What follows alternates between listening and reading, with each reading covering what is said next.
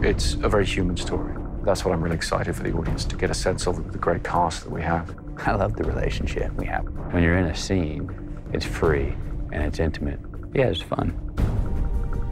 I thought about what it would be like to have to leave everyone you love behind, what it would be like to have to live a life where you live cut off, always telling yourself that you're doing it for the greater good. I was very moved by that. My favorite part of any process is the feeling of an ensemble, is a collaboration, is working with the actors and creating something.